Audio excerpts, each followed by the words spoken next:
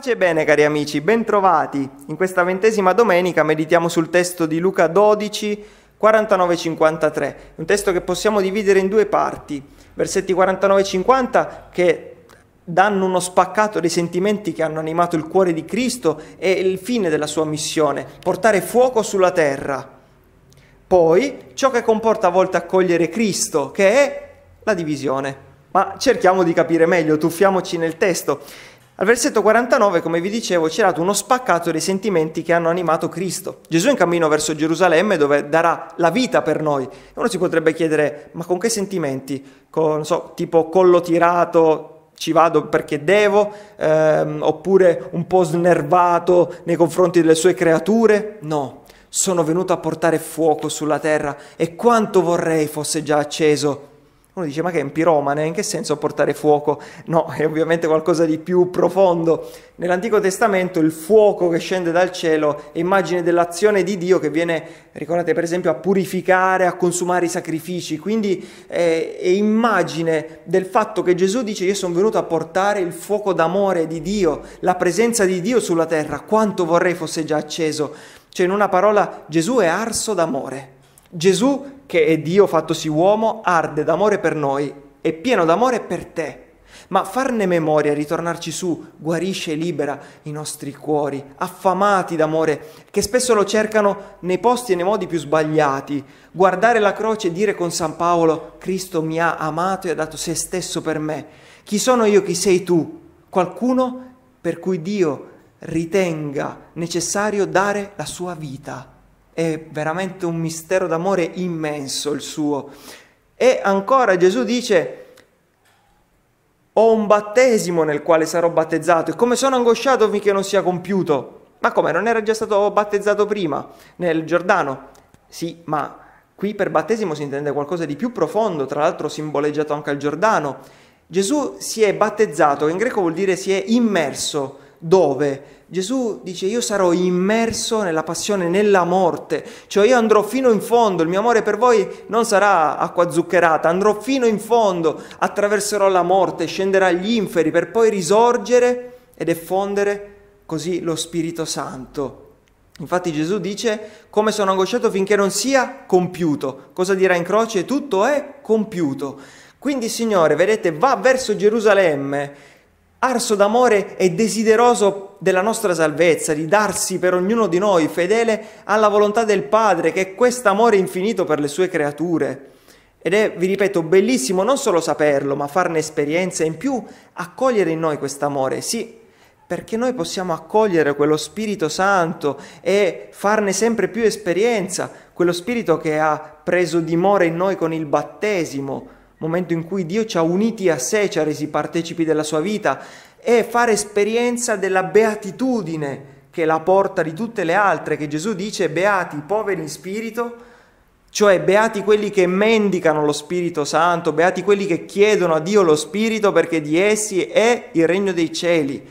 Vedete, noi a volte pensiamo che la nostra vita possa cambiare solo mh, a suon di sforzi, cioè io mi impegno, eh, lavoro di più su questa cosa e tempo tot è superata. In realtà non funziona così, non andiamo avanti a botte di volontarismo. È importantissimo metterci tutta la buona volontà, per carità, ma prima di tutto c'è da fare esperienza di che? Dell'azione di Dio in noi, della sua potenza che si vuole manifestare nella nostra debolezza e dunque e dunque partiamo dall'invocare lo Spirito, che ogni giorno ci sia questa invocazione forte, viva, intensa. Signore, dammi il tuo Spirito, Padre, nel nome di Gesù, dammi lo Spirito Santo. Per esempio, ancor più, ho da affrontare una situazione difficile, Signore, dammi il tuo Spirito, la tua luce, la forza di affrontarla. Devo avere a che fare con una persona fastidiosa, vieni Spirito Santo, dammi la forza di amarla. Mi trovo ad affrontare una sofferenza improvvisa, Invochiamo lo Spirito, dammi la forza non solo di soffrire, ma di offrire, invocarlo ogni giorno. E allora vedremo che sarà come vi faccio, vi do un'immagine, avete presente una barchetta, no? Che altro è che tu vai avanti a colpi di remi, magari pure con una giornata un po' ventosa e il mare mosso, altro è che apri la vela e lasci che il vento spinga. Ecco, fare esperienza dello Spirito di Dio in noi, che meraviglia. La seconda parte del testo, i versetti eh, 51-53, ci spiazzano un po'. Ecco, il Signore dice, pensate che sia venuto a portare pace sulla terra? Noi diremmo, beh sì, almeno tu. No, sono venuto a portare divisione, salute. Signore, ti ci metti anche tu. Eh, e poi rincara la dose, in una famiglia di 5, 3 contro 2, 2 contro 3, padre contro figlio, madre contro figlia, nuora contro suocera. Beh, forse per questo non c'era bisogno di Gesù, già accade, ma insomma cerchiamo di cogliere più in profondità il motivo. Vedete, accogliere Gesù, accettarlo come Signore nella nostra vita, iniziare a seguire la sua parola, che cosa comporta? Comporta innanzitutto qualcosa dentro di noi e di conseguenza attorno a noi. Dentro di noi che succede? Che accogliere la sua parola significa accogliere una spada, direbbe la lettera agli ebrei, che penetra fino in fondo alla nostra anima, scruta sentimenti, pensieri e viene a tagliare, a purificare, a togliere ciò che non va, viene per liberare la nostra vita, i nostri cuori, spesso avvolti tipo salami in eh, legami disordinati o soffocati dai rovi e dalle spine degli attaccamenti alle cose, ai piaceri. Allora, innanzitutto Dio viene a operare, a purificare con la sua parola, il suo spirito, il nostro cuore. Quindi viene e comporta dei cambiamenti non esiste una stasi nella vita spirituale tipo vabbè, mo sono arrivato a questo punto, siamo a posto, no, è un continuo crescere, un continuo divenire, un continuo purificare, potare, direbbe Gesù in Giovanni, perché possiamo portare più frutto.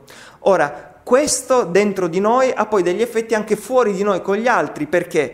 Perché se io accolgo Gesù e qualcosa inizia a cambiare nella mia vita, Beh, io l'ho accolto, ma può essere che chi ho accanto non capisca e non accolga e dunque, e dunque mi mette bastoni tra le ruote e dunque mi perseguita, mi prende in giro, mi ostacola, non diciamo per cattiveria, ma perché non capisce, perché non sta accogliendo, non sta entrando nella stessa novità di vita. Sullo sfondo qui la comunità ai tempi di Luca viveva eh, tante sofferenze, gli scontri col giudaismo, pensate poi man mano all'impero romano che diversi, in diversi momenti perseguiterà i cristiani.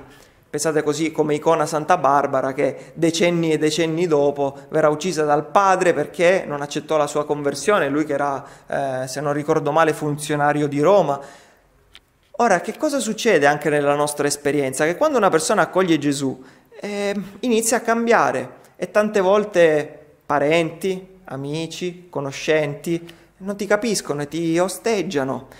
È particolare vedere nel Vangelo che la divisione avviene proprio nei legami più intimi, perché vedete tante volte a soffrire maggiormente, ad ostacolarti maggiormente, sono quelle persone che pensano di conoscerti più di tutti. È nel caso di un genitore che a volte pensano di, eh, diciamo così, proiettare sui figli i loro desideri, i loro progetti, o di aver esaurito il mistero della persona del loro figlio, della serie so io cos'è bene per te. Non è possibile questa cosa. Pensate, non so, a un giovane che per esempio è chiamato dal Signore alla vita consacrata. Quante volte i primi a ostacolarlo sono i genitori e a volte magari pure che frequentano la Chiesa. Perché? Perché per loro non è plausibile che Dio possa chiamare il figlio o la figlia. Sicuramente o è stato plagiato, o è un momento di crisi, o ha un'infatuazione. Ecco, Tante volte, pensate a San Francesco d'Assisi, il taglio netto che dovrà operare con suo padre, non più padre mio Bernardone, ma padre mio che è nei cieli. Altre volte, ecco allora l'amico, ecco la fidanzata, ecco il marito, la moglie, che non capiscono, che brontolano, che piantano i piedi. Cosa è importante fare in queste situazioni? È la perseveranza. Perseverare ovviamente trovando un giusto equilibrio di vita, ma perseverare e quindi sopportare, mostrare l'affabilità, cercare di andare incontro, ma essere fermi nel bene. Perché vedete, il Signore viene a potare, viene a tagliare per poter così costruire meglio. Quante relazioni sono mal costruite, quante volte viviamo una finta pace E concludo, vedete Gesù è venuto a portarci la vera pace, altrove ci ha detto io sono venuto a portare la pace ma non come la dà il mondo. Nel mondo spesso la pace che viviamo è falsa, a volte nelle famiglie si sta in pace perché uno domina e tutti sottomessi. A volte si sta in pace nelle amicizie o nelle comunità perché semplicemente ci si tollera, ma non ci si dice le cose e dietro ci si sparla. Il Signore invece viene a far verità nei nostri cuori e nelle relazioni perché possiamo costruire una pace vera, fondata sulla verità, sull'amore autentico, sulla chiarezza, sulla trasparenza. E allora che ben vengano le potature se possiamo portare più frutto nella nostra vita. Dunque, chiediamo al Signore che il suo Spirito infuochi i nostri cuori e che possiamo costruire relazioni vere autentiche, non fondate sull'ipocrisia, ma sulla verità, pace e bene.